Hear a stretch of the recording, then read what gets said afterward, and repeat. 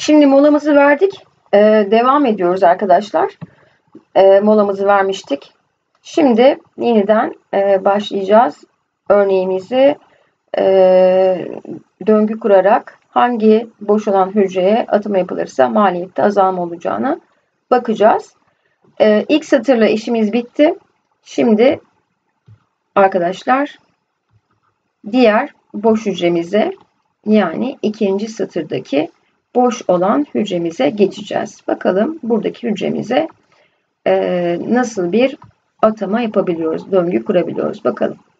Boş olan hücremizdeki noktayı koyduk. Bakın yukarıdaki komşu boş, oraya gidemiyorum. Alttaki komşuya gideceğim.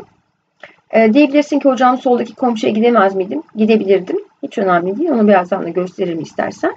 Şimdi alttaki komşuya gittim. Alttaki komşudan hemen yandaki e, komşumuza geçtik. Bu komşumuzdan soldaki şu hücreye yani üçüncü e, kat birinci dairedeki hücreye geçemiyorum. Dolu olan hücreye geçebileceğim için ne yaptım? Yukarı doğru çıktım. Yukarı çıktıktan sonra bakın bunun üst kattaki dairesi boş olduğu için sadece sola gidebiliyorum. Sola gittim. Aşağı inemem. Alt kat boş. Üst kat dolu. Üst kata gittim.